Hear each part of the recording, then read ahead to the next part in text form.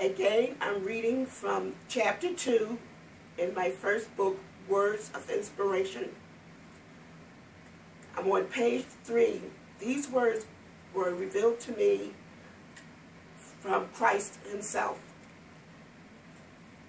O child of the King, hold your head up high as you walk through the valley of unknown and obscure times.